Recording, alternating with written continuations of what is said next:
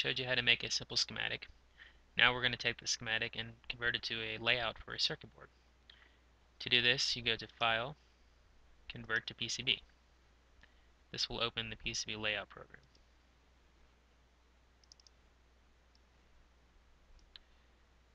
As you see here, you have your components, you have your grid, your origin. You can turn these things on and off by going to View, display origin, grid. You can also change the grid size if you want to do millimeters instead of mils or different spacing. To start this, we're going to create a board outline. So you hit this place board outline button. Click where you want the board outline to start. And then you click each of the corners of the board. To end the board, you right click and hit enter. Now you have this purple line, which is your board outline. I'm going to turn off the origin so I can see.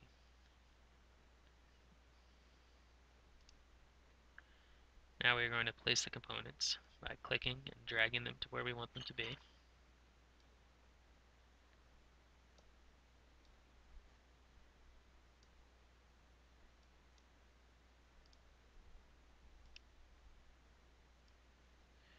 Again, we can rotate them the spacebar.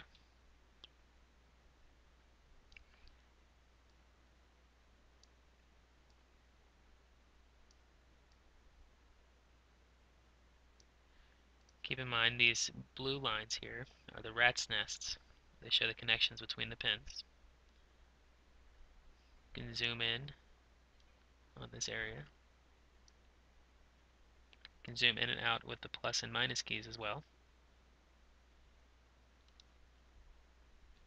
Now to route the board, click here on Route Manual. This here is your route information. If you want to route a trace, you click on the beginning pin, on the end pin. If you want the trace size to be different, you just go to Route, Route Setup, you can change the width. Right now we're set on 13 mils. Say we want to go to 25 mils. Change that. Hit OK. And now you have a 25 mil trace.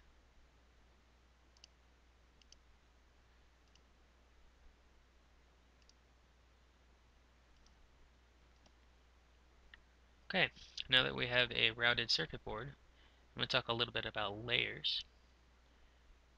If you click on the Layers tab, you see all the layers in your board that you can use. This is just a one layer board keep the cost down. It does have a bottom layer that you can put traces on if you would like to make it a two layer board, or you can add inner layers if you need multi-layer boards.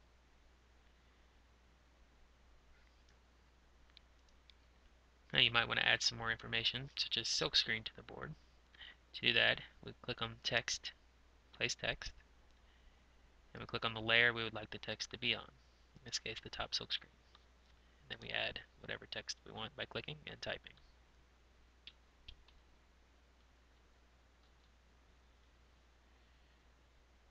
Right click to, fin to finish. And we can relocate the text just by dragging. There we have it. There is our simple LED circuit board.